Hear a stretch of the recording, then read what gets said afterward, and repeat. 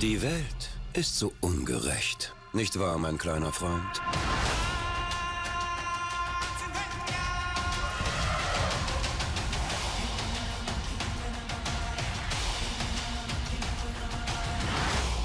Komm. Der König der Löwen. Ab 17. Juli im Kino.